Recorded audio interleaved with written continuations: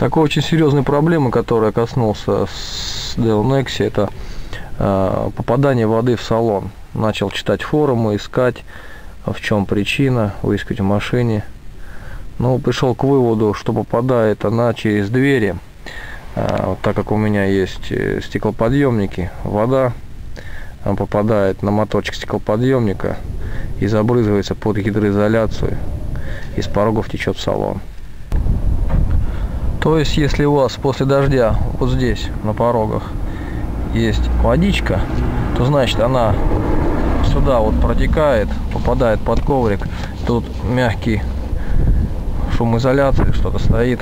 Она вся как губка впитывает, и там очень-очень много воды. А механизм попадания очень прост. То есть за стекло попадает вода внутрь двери. Тут моторчик стоит, моторчик стоит. На него под гидроизоляцию. И тут где-то где-то вот тут внизу просачивается за гидроизоляцией, попадает сюда и потом в салон.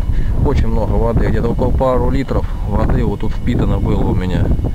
То есть надо дорабатывать гидроизоляцию.